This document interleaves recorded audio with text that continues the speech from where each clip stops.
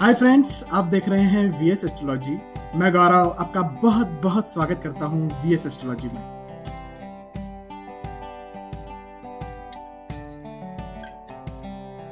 दोस्तों, आज के इस वीडियो में हम बात करेंगे जुपिटर इन टेंथ हाउस गुरु, या बृहस्पति आपकी कुंडली के दसवें घर या दसवें भाव में होंगे तो क्या फल देंगे? दोस्तों, लेसन की शुरुआत करने से पहले कुछ बातों का विशेष ध्यान रखें। पहली बात, गुरु की। या बृहस्पति की, मैं यहाँ पर जो भी रिज़ल्ट बताऊँ, जो भी परिणाम बताऊँ, उसके निष्कर्ष पर पहुँचने से पहले, उसके अनुपात पर पहुँचने से पहले, उसकी डिग्री देख लें। यदि बृहस्पति की डिग्री 10 से लेकर 20 तक है तो ही वो अपने ज़्यादा फल दे पाएँगे, चाहे फल बुरे हों, चाहे अच्छे हो। 10 से लेकर 20 तक की डिग्री में ही बृहस्पति अपने ज़्यादा फल दे पाएँगे। तो बृहस्पति की डिग्री देख लें।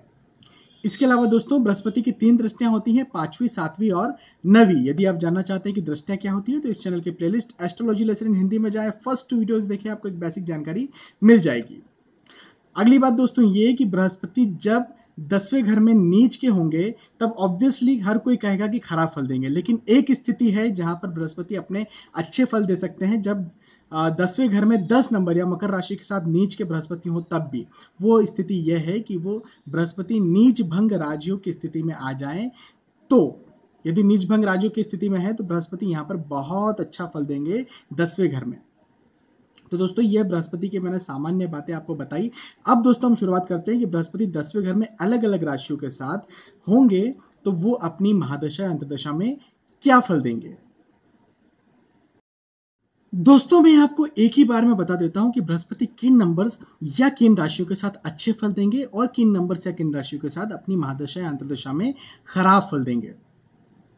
दोस्तों नोट डाउन कर लीजिए। सबसे पहले मैं आपको अच्छे फल बता देता हूँ कि किन राशियों के साथ बृहस्पति दसवें घर में होंगे तो अच्छे फल देंगे।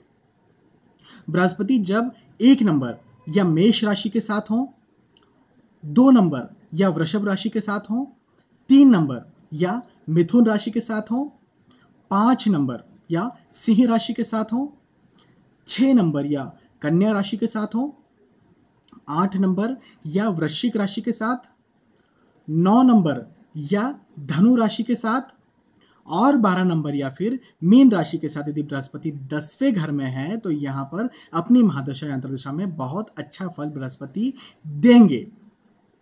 इसके अलावा जो राशियाँ बची दोस्तों, उन राशियों के साथ बृहस्पति अपनी महादशा या अंतरदशा में खराब फल देंगे। कौन सी राशियाँ हैं? वो राशियाँ हैं चार नंबर या कर्क राशि, सात नंबर या तुला राशि, दस नंबर या मकर राशि और ग्यारह नंबर या फिर कुंभ राशि। इन राशियों के साथ बृहस्पति अपनी महादशा अंतर्दशा में खराब फल देंगे। दोस्तों, चार नंबर के साथ बृहस्पति उच्च के माने जाते हैं। तो कोई भी सामान्यतः ये कह सकता है कि चार नंबर के साथ बृहस्पति उच्च के है तो यहाँ पर आपको बहुत अच्छा फल देंगे, लेकिन ऐसी वास्तविकता नहीं है।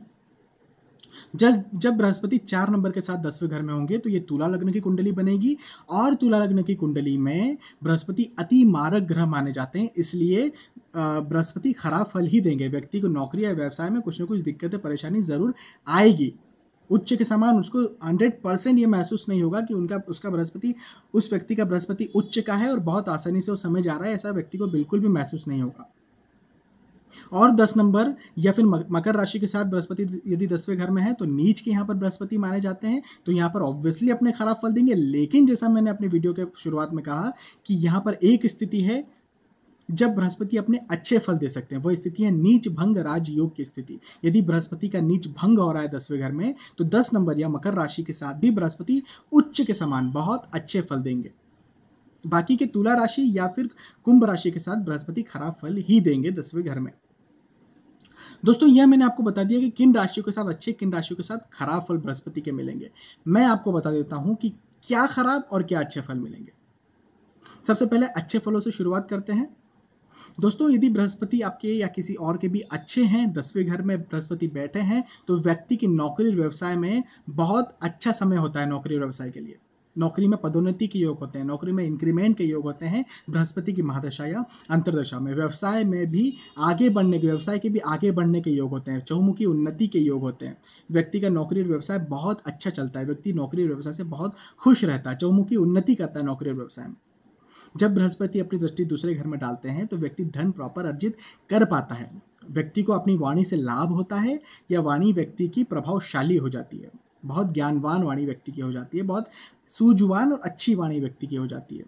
परिवार व्यक्ति का साथ देने वाला होता है, व्यक्ति परिवार को साथ में लेकर चलने वाला हो जाता है। जब बृहस्पति अपनी दृष्टि चौथे घर में डालते हैं तो माता से व्यक्ति को लाभ होता है और व्यक्ति माता की रिस्पेक्ट करने वाला होता है।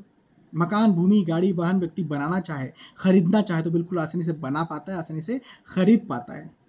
जब बृहस्पति अपनी दृष्टि छठवें घर में डालते हैं तो व्यक्ति हर कंपटीशन को पार करता हुआ आगे बढ़ता जाता है और उसमें सफलता पाता है। शत्रुओं पर, हर रोगों पर छोटे मोटे रोगों पर व्यक्ति की विजय होती है। तो इस तरह बृहस्पति अपने अच्छे फल देते हैं, जब बृहस्पति अच्छे बैठे हों।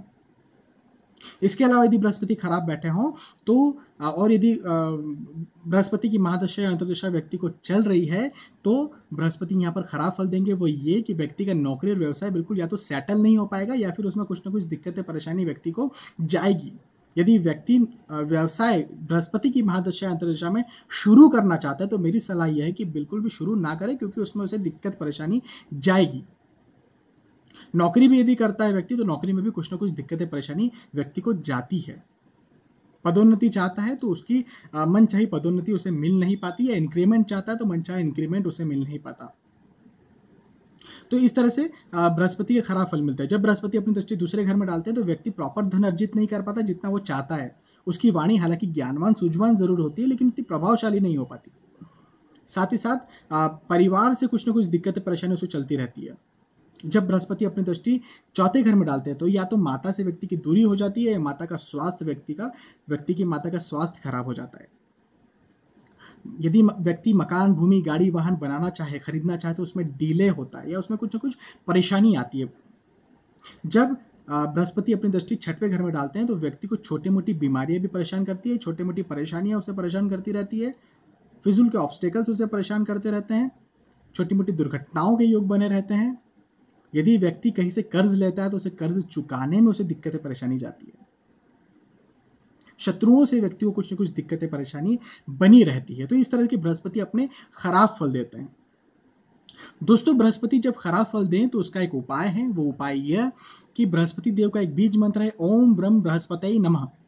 इस बीज मंत्र की एक माला का जप आप ज़रूर रोज करें। आपको बृहस्पति देव के जो खराब फल मिल रहे हैं, उसमें ज़रूर शांति मिलेगी। चलिए दोस्तों, यह मैंने आपको बताया कि बृहस्पति देव दसवें घर में अलग अलग राशियों के साथ क्या फल देंगे। दोस्तों, यदि आपको वीडियो पसंद आया तो प्लीज़ इसे लाइक करें और इस वीडियो को शेयर भी करें। आपने ये वीडियो देखा, आपका बहुत बहुत धन्यवाद। Bye bye